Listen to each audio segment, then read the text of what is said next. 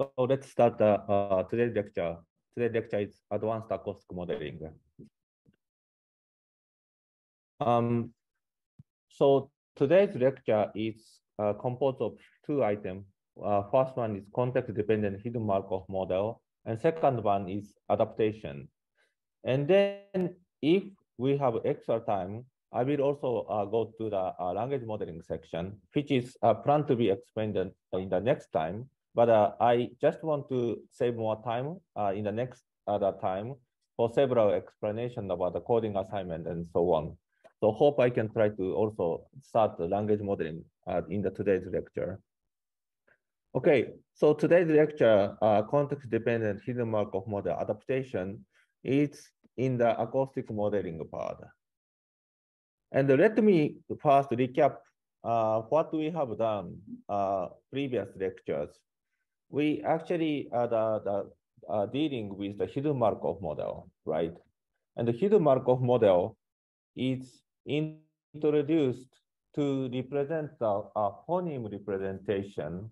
And even phoneme can be represented with uh, the further decomposition uh, based on the state. Uh, like uh, uh, in this uh, example, uh, phoneme one, two is uh, decomposed the HM state one of the silence uh, beginning, uh, second one, third one, and the same for the other phoneme like a T and so on. So this is the our most uh, precise unit uh, introduced in our courses. However, this uh, unit is still not enough to capture the variation of the phoneme. The most famous uh, the, the phoneme uh, variation is the context-dependent phoneme, context-dependent hidden Markov model. First, I put the two word, a car and a key. Can you just try to pronounce it both? A car and a key.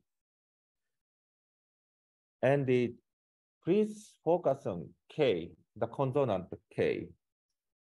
A car is comes uh, the, by uh, the, from the, the first phoneme, which is usually open the mouth.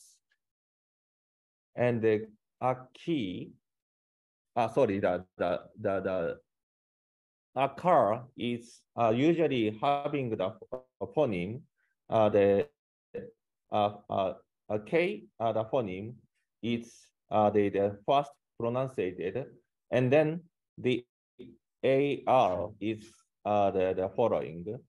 And this AR is uh, the, the based on R, and which is the, the uh, sounded by uh, making the mouth open. A key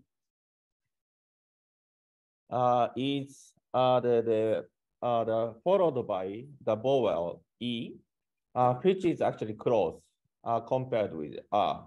And then in this case, K is actually slightly changed acoustically, a car and a key. If you also pronounce it these two K, you could actually see where you uh, the, the how to say make a resonance of the phoneme K which is actually slightly different depending on the context. So actually many of the phone phonemes changing slightly this acoustic property depending on the context. So to uh, consider this uh, context dependency, we actually often further expand our phoneme unit, unit to consider the context. For example, depending on the previous phoneme and the following phoneme, we actually using the different phoneme category. In this case, K uh, following A and K following I would be considered as a different category. This sounds very cool in terms of making our phoneme to be very uh, precise, right? However, if we really consider this, uh, the, the variations, it actually quite makes our category a large. Uh, for example, let's say we have a 40 phonemes. And then the, the these 40 phonemes, depending on the previous phoneme, previous 40 phonemes, and depending on the previous, uh, the, the, uh, the uh, following 40 phonemes. So, and also we have a three state uh, per uh, the phoneme. Then the total number of HMM state would be 200,000. So we try to kind of capture the, uh, the phoneme variation with the 200,000 categories. And uh, what do you think is about this number of the categories? It is too big, right? Um, 40 manageable, 120 manageable, but uh, the, uh, the 200,000 is too much. And actually, this is not only just the number of phoneme units are too large. There would be a lot of unseen phoneme in the data. So it is very difficult to cover uh, the variation of the all phonemes uh, in the corpus. So instead of uh, the, the using 200,000 of the states, we actually using the clustering. And then using the phoneme, that is a kind of set of the, uh, the, uh, the several, uh, the, this, uh, the, the state as a one unit, instead of considering all context-dependent hidden Markov model as a single category so that we avoid to have a 200,000 other units to be like around 1,000 or 10,000 and so on.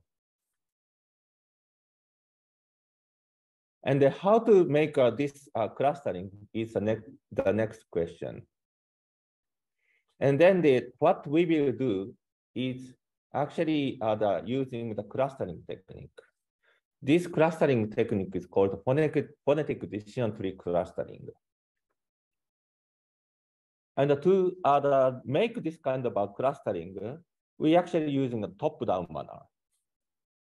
First, all the root node corresponding to the phoneme, which consider all context. So this means that we don't consider the context, right? This uh, the root node is actually context independent form. And then let's try to make a context dependent form. But as I said, instead of consider all possible phoneme state, we just try to cluster this phoneme based on some rule. The one rule uh, often we use is a phonetic question. For example, in this question cases, the following phoneme is vowel or not. By asking this question, we can cluster two sets of the, uh, the phonemes from the original, uh, the single, uh, the, the context-dependent phonemes. Like in this cases, uh, this is only applied for the, the uh, following phoneme. So previous phoneme uh, didn't change, but in this cases, only the phoneme that have vowel in the, uh, following, that is clustered as a one uh, unit and the other is the rest. And this uh, the, the question is applied to uh, the, many of the uh, the this the, the node and try to find the best cluster.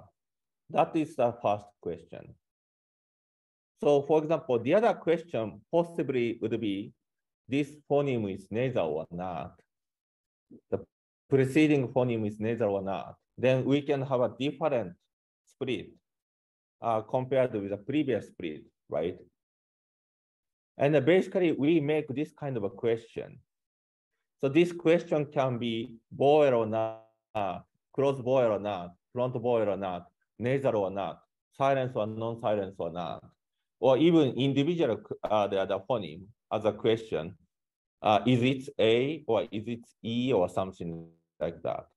So all these questions are made first as a phonetic questions, and then apply to each node. and then selecting the best split based on some criteria. I will explain what kind of criteria we will use. But by doing that, we can find the best cluster, uh, best uh, the split uh, in terms of some kind of criteria uh, for each node, right?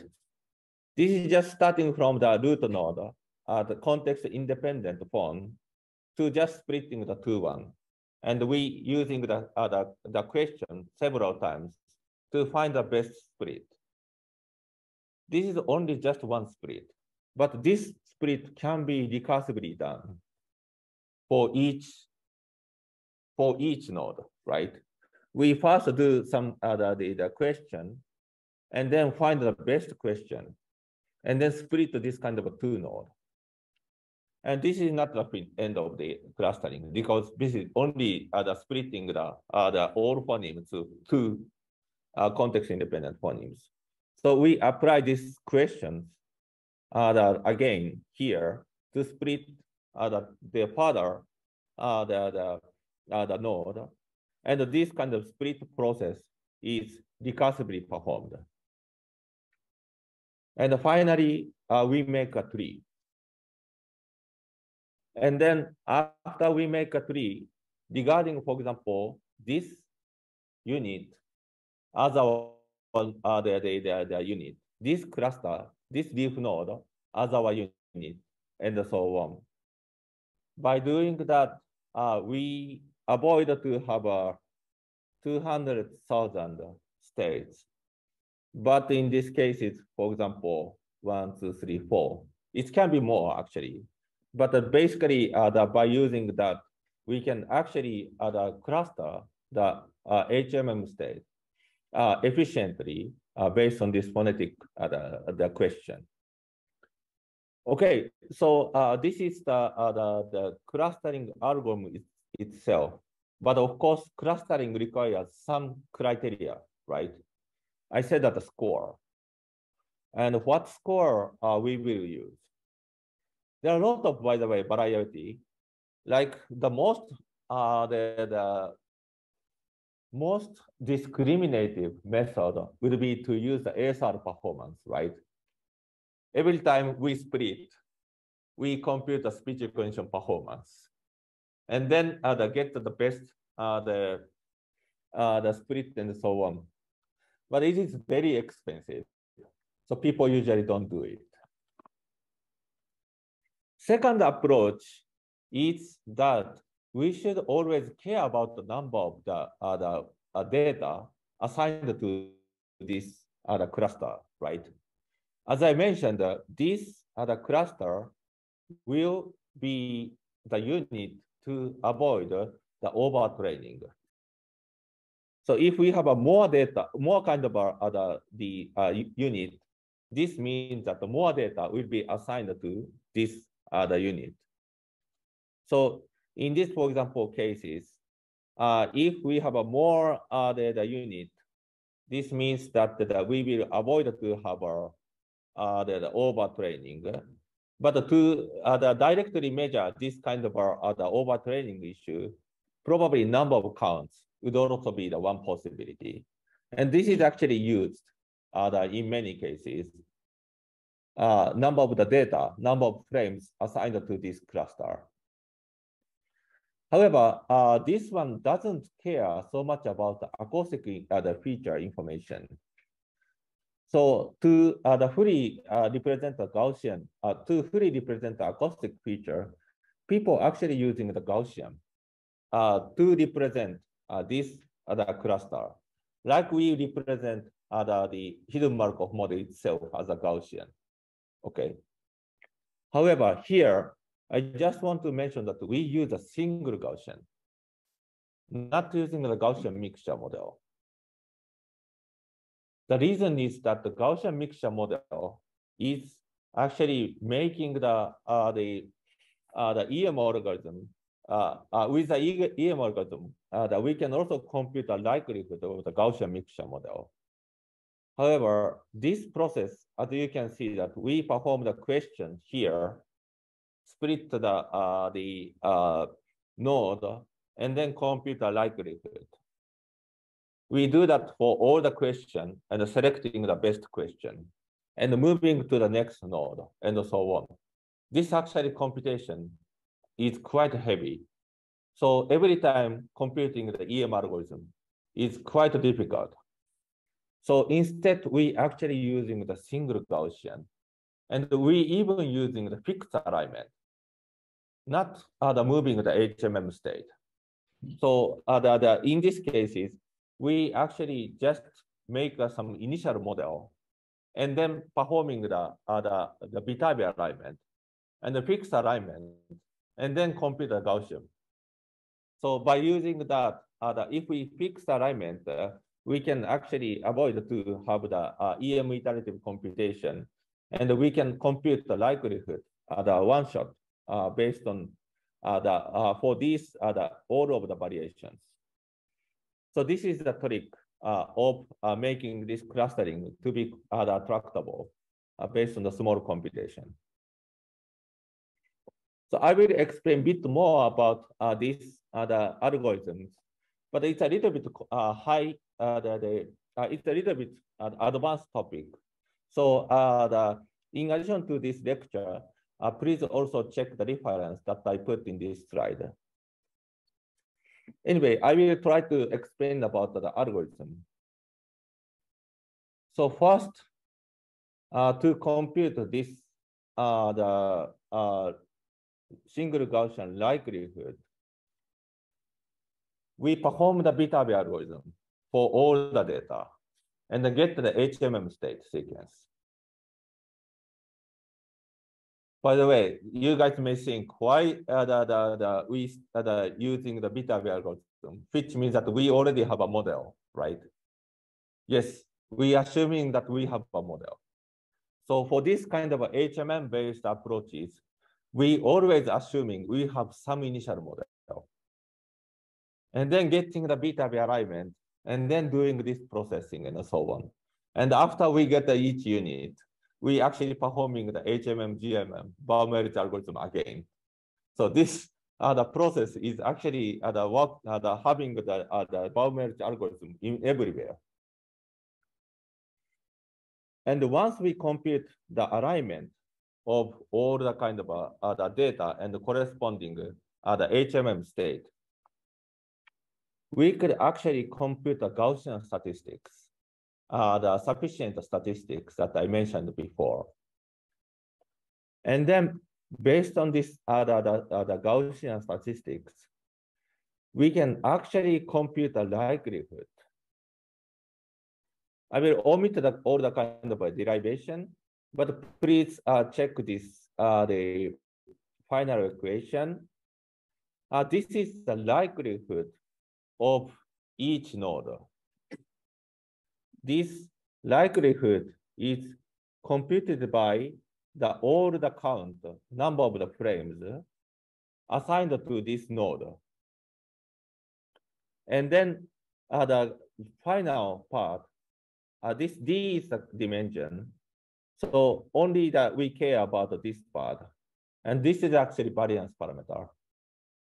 And this variance is not for the, uh, the single HMM state, but we consider the all clustering, uh, all the kind of uh, uh, the HMM state in a cluster, and then compute the variance.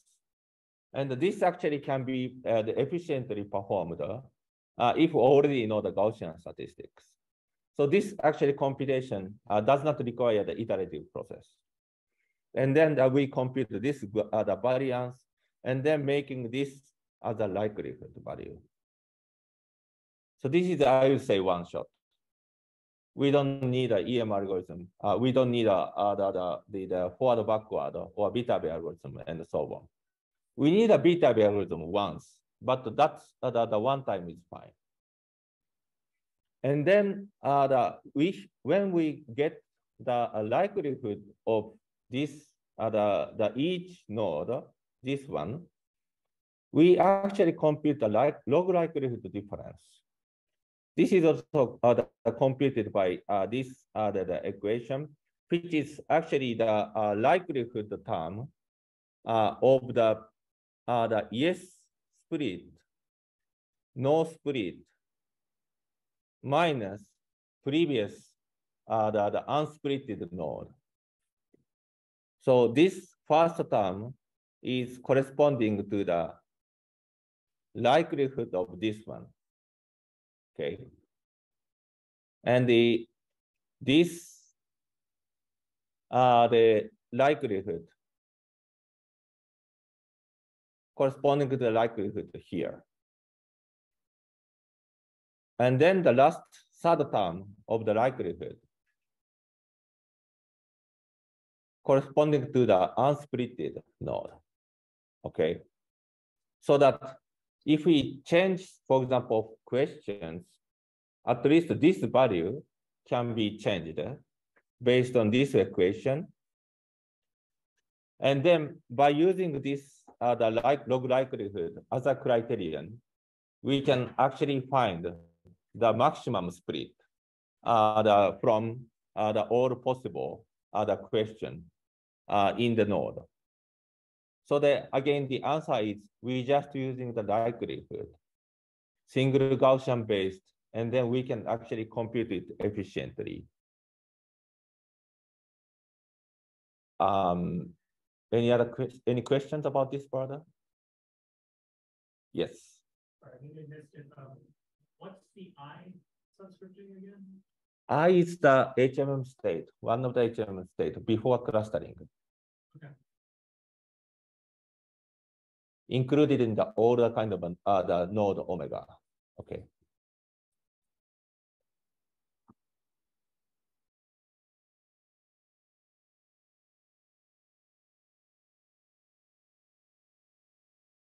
Any other questions? I will say that this part is little bit complicated. Um, and this part is a little bit advanced. And this part is little bit too advanced to be listed in the midterm exam. I gave you one hint. Yeah. This this part is very important, and I would like you to understand this one. But first, understand the concept, and then check the reference paper and so on. Yeah. Yes. All right, can another question about capital The uh, data, the number of the count, yeah. So uh, the, the in the uh, included in each node. Number of the frames.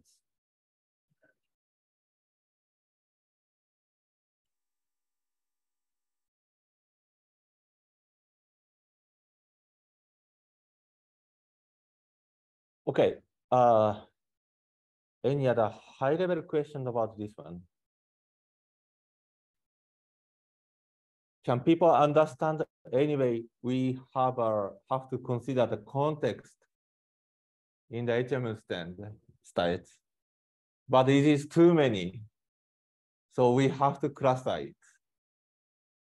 And then we want to use, usually using the Gaussian statistics to find the best permutation, best, uh, best uh, the split uh, the, of the uh, HMM state. And this unit is the, uh, the standard unit used for the real uh, HMM based system. So this is actually very complicated, but it is quite widely used. Okay, then the uh, the um, I just explained that the uh, we use a maximum likelihood criteria to select the uh, appropriate question for each for each node, right? By applying this kind of a, a maximum likelihood criteria, we can get the optimum split for each of the node, right? However, I didn't actually explain about the important things.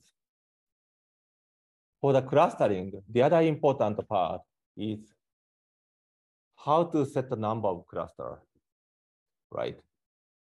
And uh, let me check whether what is my question for this short quiz.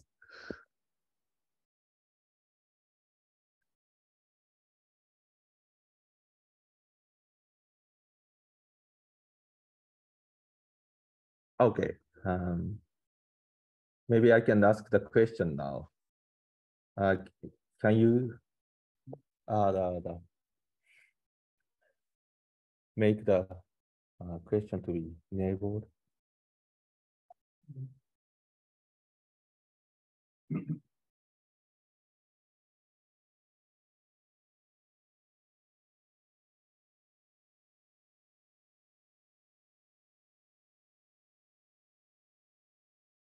The question is about, uh, we can only use a maximum likelihood criteria, criterion to make a, a decision tree.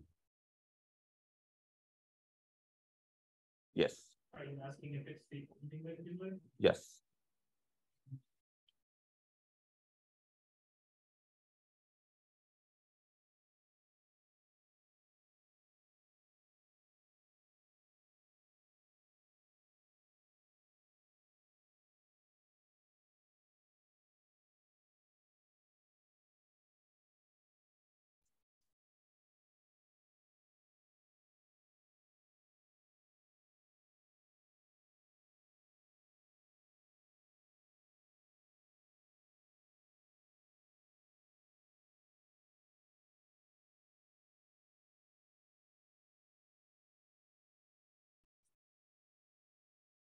One more minute.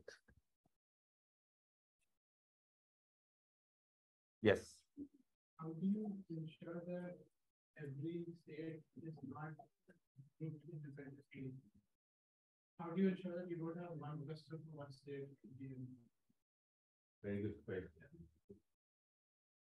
Um, actually, um, this is a part of the answer of this question. Mm-hmm.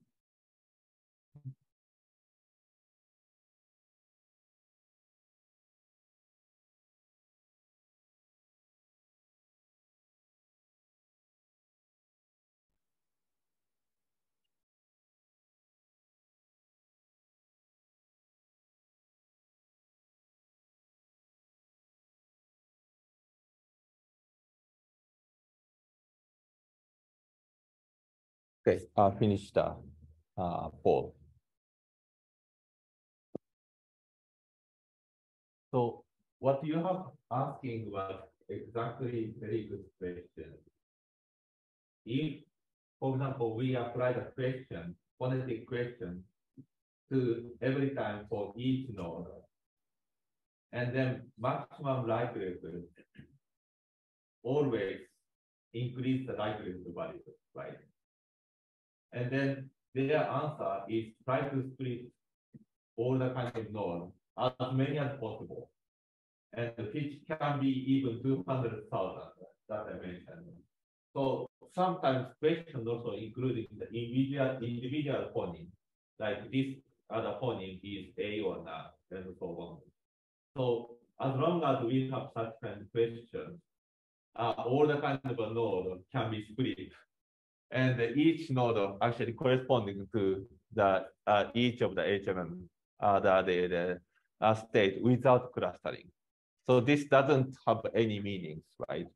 Our uh, the, the intention is to control the uh, the, the sufficient numbers of clusters.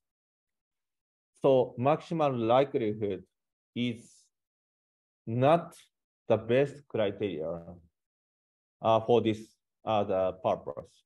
It is good for uh, the selecting the best question for each node, but it doesn't uh, be used as an entire clustering measure. And then actually some people are using the several uh, the model selection criteria like a minimum description length or Bayesian information criteria uh, or variation of Bayes and so on. Uh, by the way, uh, the, my first other paper, my first research in speech is using the variational Bayes uh, for this phonetic decision clustering. And then try to find the optimal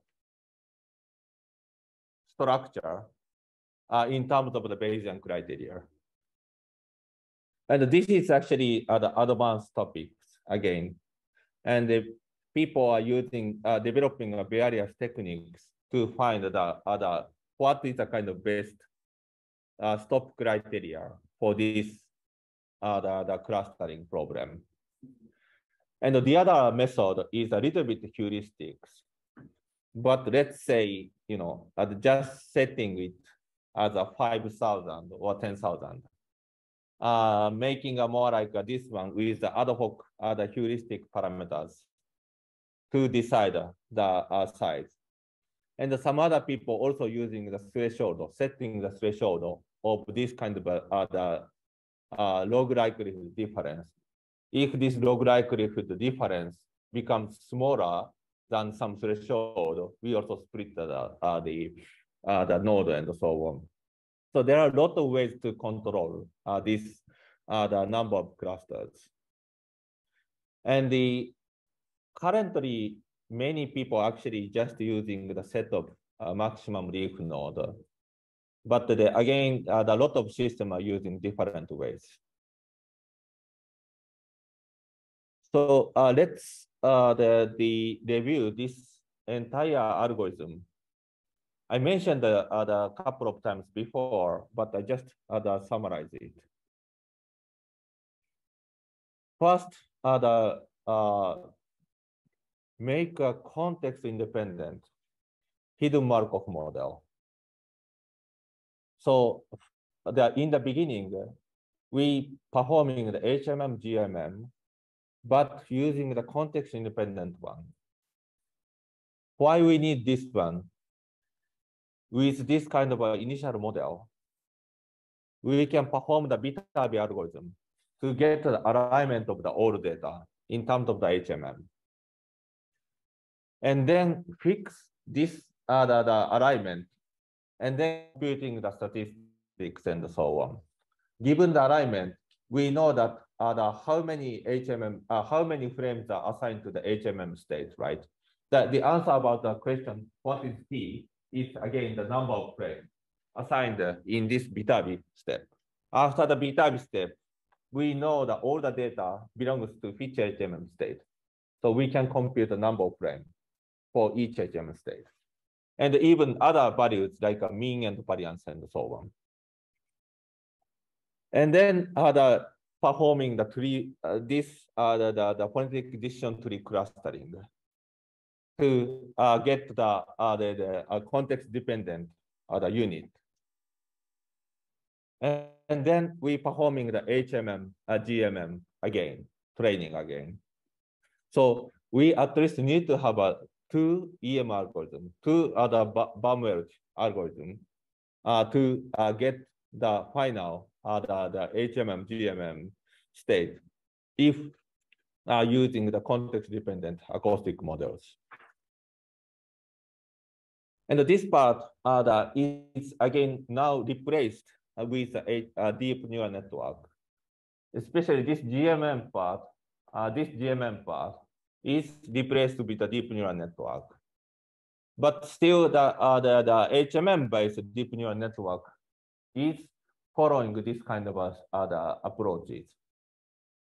So uh, the uh, please uh, the, also uh, the understand that uh, this kind of a, a framework. And then the, uh, the what kind of a, uh, the, uh, the hyperparameter becomes important in the HMM state, uh, in the HMM GMM. As I mentioned previously in the HMM Gaussian mixture model, I said that the number of Gaussian are important hyperparameters.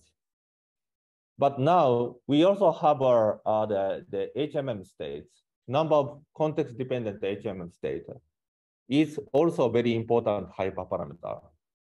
So if we usually uh, the, the, the, the specify the, uh, the uh, hidden Markov model, GMM, for speech recognition, we usually use these two hyperparameters. Number of uh, the total HMM state and the number of uh, the, the, uh, the total Gaussians. And then specify the model. That is what we usually do uh, for the, uh, the specifying the HMM based speech recognition. And again, even we move this one to the uh, deep neural network systems, uh, this part will be replaced with a deep neural network, but this part is not replaced with the deep neural network. So this uh, the, the hyperparameter is still important for uh, the HMM uh, deep neural network uh, based speech recognition. Okay, so this is about the uh, the uh, the context dependent hidden Markov model. Yes. Can, can you go to the slide? So we perform uh, Viterbi in step two so that you can get the initial alignment and the first likelihood, correct? Yes. Uh, don't you have to perform Viterbi for each node as your question? We don't do it, which is very uh, the, the, uh, the expensive. So uh, the uh, we don't do it. Instead, uh, that we fix alignment, and then we using the single Gaussian, and then we don't have to do the EM algorithm anymore. So this is a very important uh, the, the step. Uh, that we doing the, uh, the, the Viterbi alignment, but during the, uh, the phonetic decision clustering, we don't do any uh, the, the uh, Viterbi alignment. So as you see, Viterbi alignment is expensive, right? We have to check scan the each data. But the after Viterbi alignment, uh, and then we actually can get the statistics. So I also explained about sufficient statistics. Uh, with this sufficient statistics, we don't have to scan the data anymore, but we can uh, the compute all the likelihood of the each node. Yeah, very good question. And uh, this is again the important concept. By the way, this sounds very uh, the large approximations, right? But practically, practically it is working. Okay, uh, let's uh, move to the next agenda. Uh, this is adaptation. And still, I am talking about the, the uh, uh, acoustic modeling part. And then uh, talking about the adaptation. Maybe I can start from this one. So not only for speech recognition problems, in general, if we're using the data, always that data has bias, right? And then uh, if we have a new data, we have to adapt our model to that specific uh, environment. Uh, that uh, adaptation technique is very, very uh, popular uh, in many of the machine learning problems. And of course, are the essential in speech recognition. And in speech recognition, historically, uh, adaptation techniques was uh, the, the, the mostly investigated for speaker. So if, for example, uh, the, we make a speaker independent speech recognition systems by collecting many of your voices, that will be good in terms of the collecting many data and in terms of making the system to be robust to various speaker, right? However, if we have some particular persons amount the data that is available, and then we could adapt the model uh, from this uh, speaker independent model to the speaker dependent system, right? So this is a very well-known uh, adaptation. Uh, the techniques are used in the speech recognition. And the two, uh, the realize this, uh, the speaker speaker adaptation, uh, there are two types of the approach. One of the maximum posterior adaptation, and the other is maximum linear uh, likelihood linear regression, MLLR uh, adaptation. By the way, the can you guys come up with the other adaptation than speaker?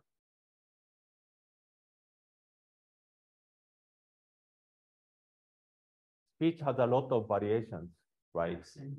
Yes, accent is very good. Yes. Any other variations that we could? Sentiment. Sentiment, yes. Anything else? Gender.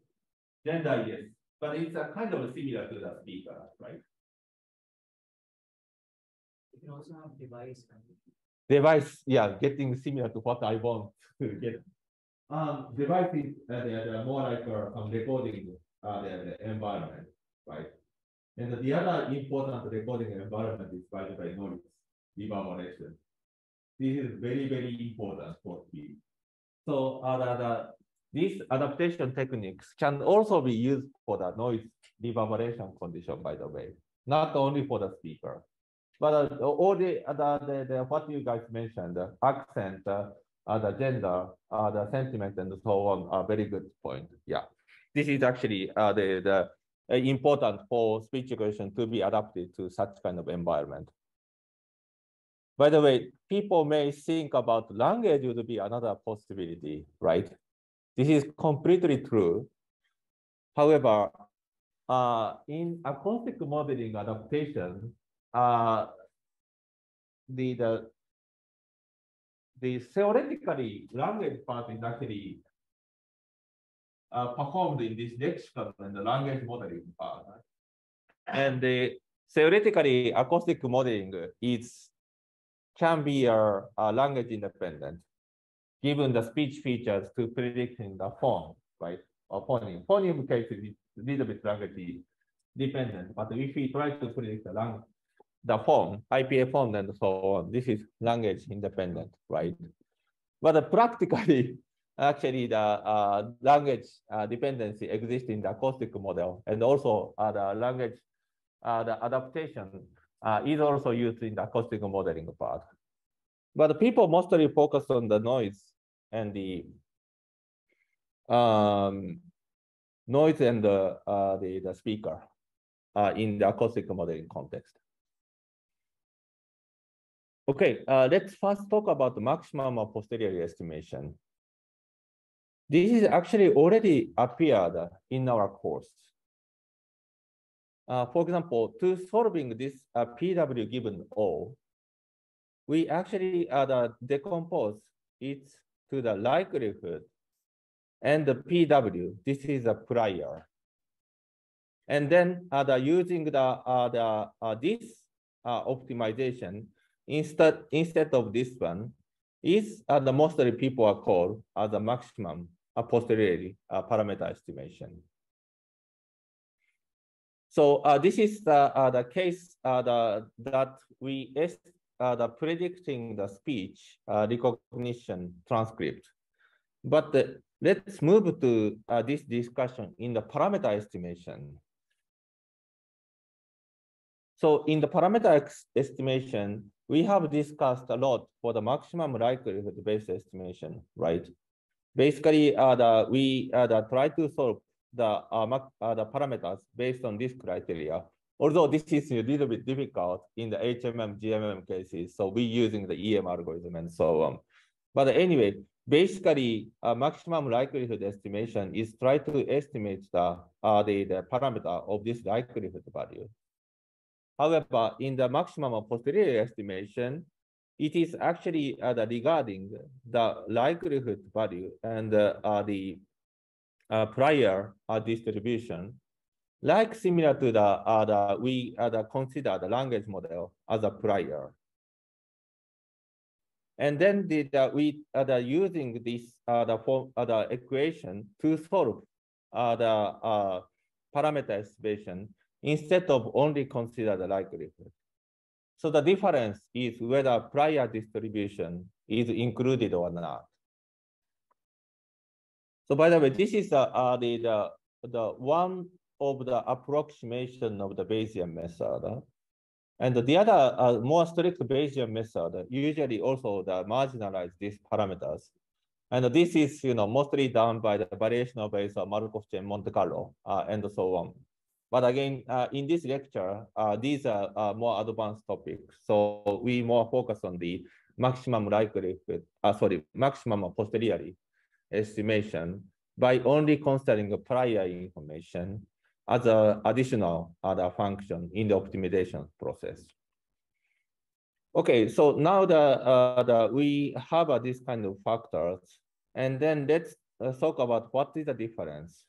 So uh, say that uh, we try to kind of uh, uh estimate the uh, the real likely real the parameters, Gaussian parameters, and so on.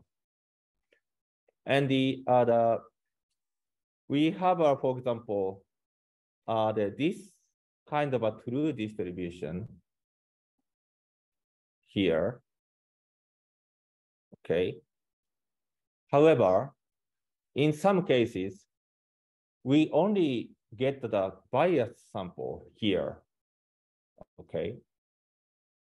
This, this is just the bias sample. If we have more samples, probably we can get the uh, this distribution, uh, this sample to be similar to this true distribution. But uh, due to the uh, issue in the uh, the uh, uh, recording or whatever, we only have some selected portion of the point. And then what's happened when we do the maximum likelihood? We just try to the, the, estimate the, the parameter which just fit to this uh, data, right? However, if we know some prior distribution. For example, this data tended to go to left side. In some cases, we know the prior distribution. Speech cases, it's more naturally we can get the prior information because it's a physical uh, the problem. So we can actually find some prior constraint. But anyway, if we have this prior constraint and then this actual data, we could actually possibly recover this true distribution. Although the, uh, the difficulty is how to get the prior information, right? And then again, going back to the speak adaptation cases. So as I mentioned, in the speak adaptation, we first built speech recognition system by collecting many speakers and then making a speaker independent system. Uh, why we collect many speakers? Because it is very difficult to collect enough amount of training data from single speaker, right? So instead, we ask you guys to speak uh, five minutes, and then we can easily get the, you know 250 minutes of the data, right? Instead of one person here to speak uh, the four hours, it is very efficient way to collect the data, right? And then we have this kind of speaker independent system. Yes, this is a speaker independent system. So it's slightly different from the uh, the the, uh, the other uh, the target speaker, like my voice and the speaker independent system may is definitely different. However, it is not very different, right? All come from the human's voices. And uh, actually, some of the, the voices uh, the, the, of your uh, voice can be actually close to mine, right? So this speaker independent model mm-hmm. can be a very good prior distribution uh, to uh, the, the get uh, the my uh, the, the uh, speaker dependent system. So this is a very reasonable assumption. So this actually approach is widely used uh, the, the, for uh, the, the speaker uh, adaptation setup. By the way, we can do the same analogy to even accent or noise or sentiment or whatever. We first collect the many data as much as possible, and then using it as a prior model, and then adapting to the, uh, the other target, other attribute. Uh, that is uh, the, the, the, methodology that the, the, the prior-based approach is working. And then the, actually to uh, the solve uh, this uh, the, the uh, map estimation, we can actually follow the exactly same process as the uh, the HM parameter estimation. So this part, uh, uh, really we have too many the equations. So I'm mostly skipping it. And I also the, the, the adding the reference. So please check this one. And uh, again, I will try to explain uh, are some high level concept uh, rather than explain the detail uh, for this uh, the explanation about it. Um, the anyway, the uh, the the the procedure is almost same, using the introducing latent variable, making a complete data likelihood, making the auxiliary function, and the parameter estimation, and so on. And the uh, latent variable introduction is actually exactly the same. We just using the HMM state and the, uh, the, the Gaussian mixture. So we skip this one. And the complete data likelihood is changed since we also try to consider this theta as an incomplete data. And then we making a joint probability of the observation, state sequence, uh, the Gaussian mixture sequence, and the parameter. So it becomes actually very complicated. But again, uh, please, you do not have to entirely follow this equation. I just want to mention that the, uh, the we need to consider this theta to make our, uh, the, the, uh, the, uh, the complete data likelihood. After that, auxiliary function uh, is also uh, defined. However, this auxiliary function is actually uh, just formed as the original auxiliary function and prior distribution. So we can actually compute this one uh, efficiently uh, by using the same uh, uh, the forward backward algorithm, but has just the some modification of this other data prior distribution part and the parameter uh, estimation uh, and so on. This is also almost same, except that we have some kind of additional prior distribution function. And the I the the the, the most of the question I had for this kind of prior distribution is that what kind of distribution we should set. And then the uh, the like uh, the the we have discussed in the previous uh, HMM based uh, the the distribution setup. Uh, prior distribution setup is also the the uh, easily uh, the, the provided by following the rule. First, we should consider the domain of the parameters. Uh, for actually weight parameters relating the initial weight, uh, the, the mixture weight, and the, uh, the state transition, uh, this is actually uh, the, the, uh, the, the has to satisfy the sum to one condition and these are the, the uh, parameters are modeled by the Dirichlet distribution. Okay, the next question. Uh, the Gaussian parameters.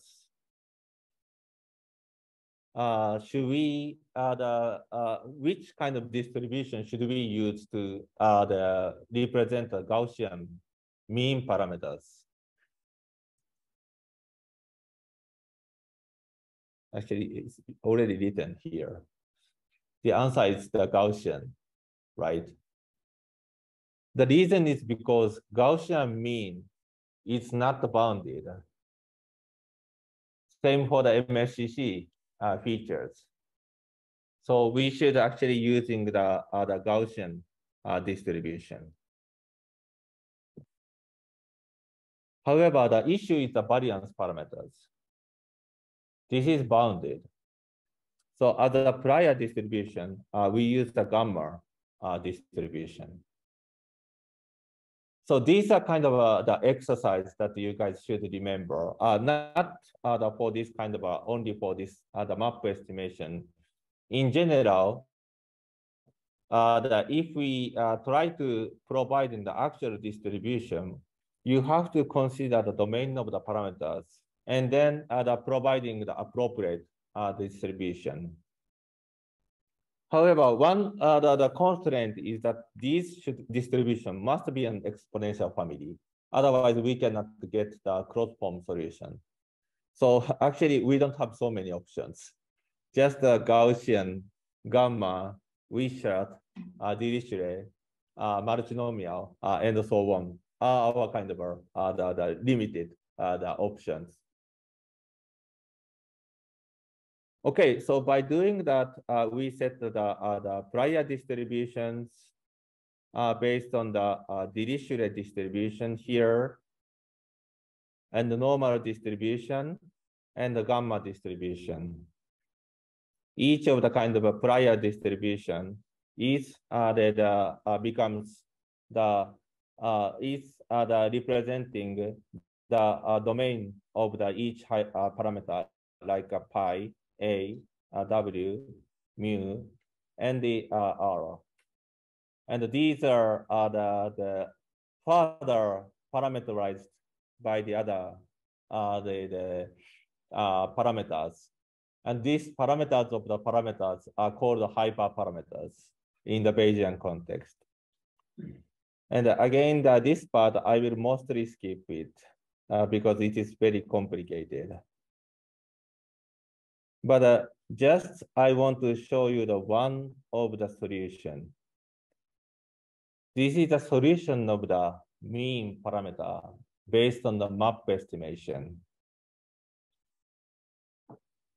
If you do not care about this one, let's use pen, just removing this one. Um, only with this uh, solution. Do you remember? Uh, is this the what is uh, uh, the the result of this estimation? Mm -hmm. Yes, this is exactly maximum likelihood estimation, right? And then actually the map estimation have an additional term here. And I will explain about this additional term here. By the way, this mu zero corresponding to the prior distribution. So this one is again the, the sum of the mean parameters estimated from the speaker independent models. And then this one is corresponding to the speaker adaptation data. Okay, uh, let's move to understand this kind of a solution. For example, if we don't have any data what's happened. If we don't have any adaptation data, what's happened? This means that this, the, uh, the, the uh, data goes to zero, right? And then only we consider this term. And then this, the, the denominator and the numerator is canceled. So if there is no data, it goes to the speaker independent model parameters very makes sense, right? If there is no data, we just using a speaker independent models. Okay, let's consider the opposite cases. If we have a too many adaptation data of my voice, what's happening? This data becomes too dominant, and then this one, we can actually ignore it, right? And then this solution becomes maximum likelihood of my voice. So again, this one is collecting from all of you guys data and then making a speech recognition system, which is very valid if we don't have uh, any amount of my voice, right? But uh, if we have a, uh, too many, uh, the enough sufficient amount of my data, we should use the maximum likelihood estimation of my data, right? And then map estimation is actually uh, represented as uh, the interpolation of this point. And depending on the amount of data, the uh, estimation of the parameters goes from here to gradually goes to the maximum likelihood estimation. So very theoretically beautiful solution we can get. So this is actually the, uh, the well-known map adaptation, the performance. This is the amount of the adaptation training data, again, my voice. And this is the accuracy uh, the, of speech recognition performance. So higher is better. Let's say maximum likelihood performance. The beginning, we don't have a my voice, so we cannot make a model, right? But gradually we have data, we can make a speech recognition system of my voice uh, the, with enough amount of data. This is a more like a, uh, the, the, uh, the, the straightforward, uh, the, the performance curve, I would say. And then map adaptation is actually starting from the speaker independence part. And then in the small amount of training data, map is actually getting a better performance, especially, you know, this kind of uh, the uh, irregular area. Uh, this is very true that based on this equation, we at least uh, the, the preserve that this system can provide a speaker independent model performance. So it does, does not go to zero. And then theoretically, if we have a large amount of data, maximum likelihood, uh, maximum uh, posteriori uh, the uh, adaptation is equivalent to the maximum likelihood of performance. So that's the kind of map estimation and the map adaptation. And the, I will quickly explain about the other uh, estimation method, and then we'll finish my lecture. The other uh, estimation approach, maximum likelihood linear regression, is also widely used as an alternative to the map estimation. This approach is basically uh, try to uh, find the transformation of the Gaussian parameters. So as I mentioned that the Gaussian parameter is like a 10,000 or 100,000, depending on the system. It's so many, so that we require the significant amount of data to train the model. However, instead of train this model, let's try to find the uh, the the uh, transformation that is an MLLR adaptation. So for example, if we have this kind of the, uh, various uh, the Gaussian model, and then maximum likelihood estimation is to find this kind of mean variance and so on for each parameters. But instead of finding this kind of each parameter, uh, this uh, MLLR is try to find the linear regression of all these Gaussian parameters. So if you check this kind of uh, uh, the, the equations, you can see that J, K, again, corresponding to the HMM state and the, uh, the Gaussian mixture. So total uh, number of Gaussians would be like a 10,000 and so on. However, instead of estimating this one, we only estimating this one. So this is just a linear matrix. So the number of parameters is very small. Even we have a millions of the Gaussians, this other parameter is like an order of the hundred or thousand, only the, the small number of parameters to find the transformation. So by doing that, uh, since number of the, uh, the parameters becomes very small, we can actually estimate this uh, the, the, the parameters efficiently. And there are a lot of variants of this kind of approaches. For example, instead of estimating the, uh, the transformation of the, uh, the parameters, we can also consider the transformation of the, the speech feature itself. This is by the almost equivalent solution. But anyway, the important point is that this estimation or this estimation is solved by the EM algorithm. Similar to the map adaptation. Uh, by using this other parametric form, we can estimate these other parameters based on the EM algorithm.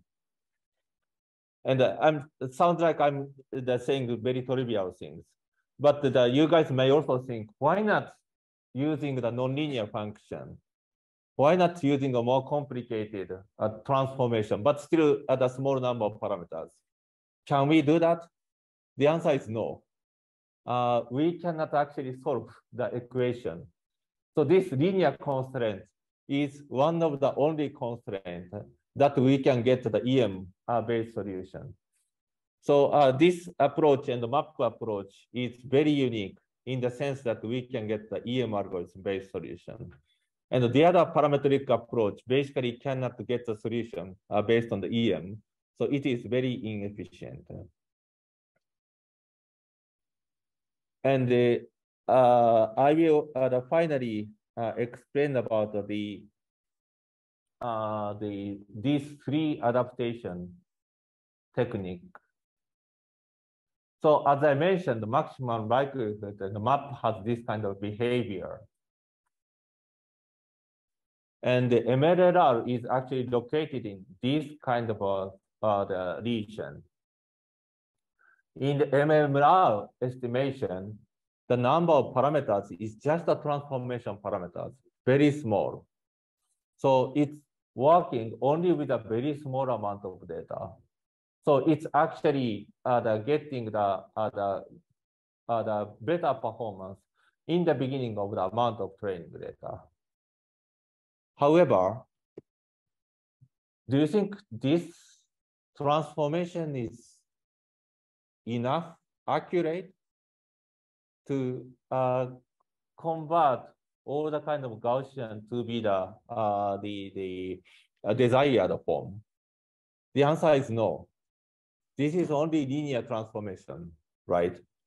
So compared with maximum likelihood or map estimation, this uh, the representation is very weak, too much constraint to get the accurate performance when we have the large amount of training data.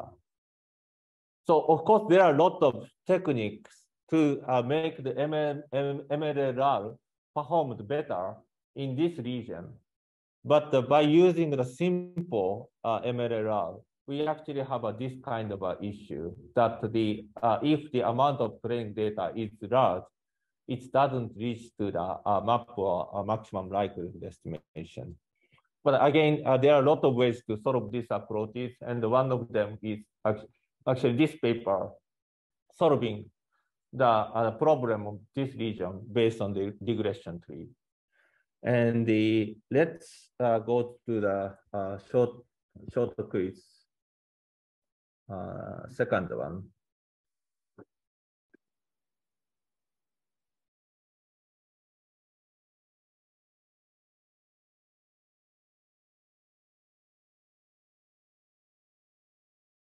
Maybe the this one with this graph, it is obvious, but uh, uh, please answer it.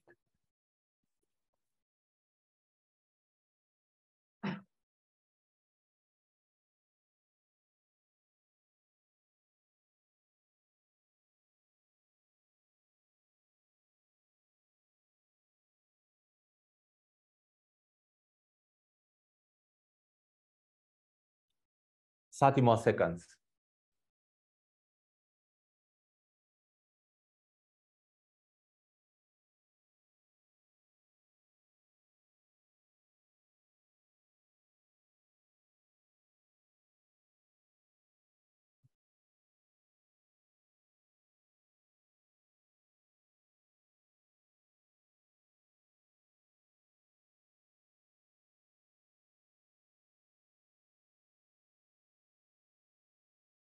Okay, please close the poll.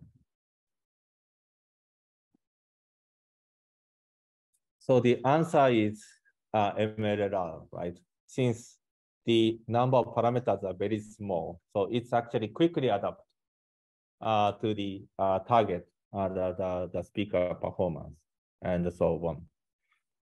Okay, so I wanted to move to the language modeling, but it's almost uh, the, the uh, time to finish. So I would like to uh, accept questions. Any questions?